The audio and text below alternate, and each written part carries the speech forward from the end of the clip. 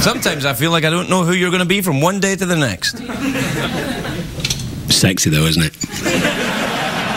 Well, I wouldn't deny it doesn't have a certain allure. Every time I see you, you've got a slightly different personality. Like for the next, you know, two weeks or so. Yeah. It's as if you go home to a different wife every night. different robot every day, different wife at night. That's like a, it's like a dream, that isn't it? No, no, it'd be awful. I'll want the same wife every night. Yeah.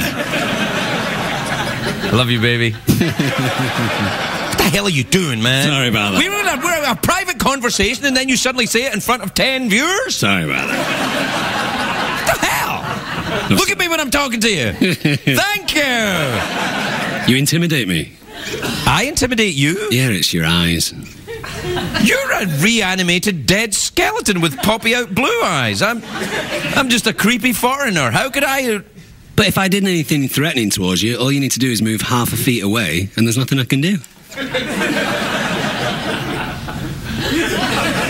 Damn. Yeah.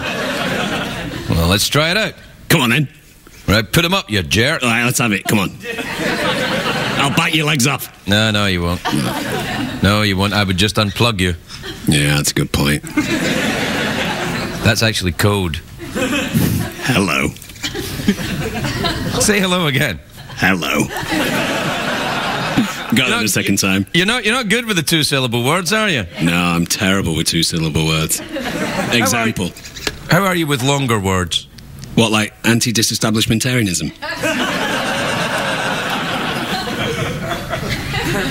Did you really say that, or did I just think it? I think it's that weed again, isn't it? Yep.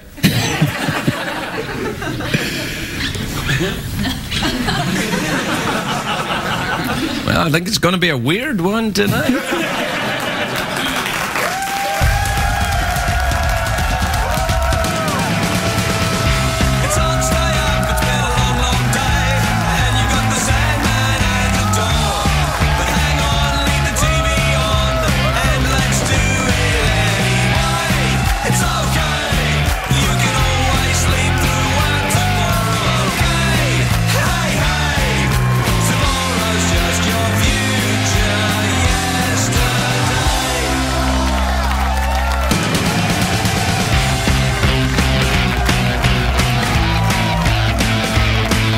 The Late Late Show with Craig Ferguson, sponsored by.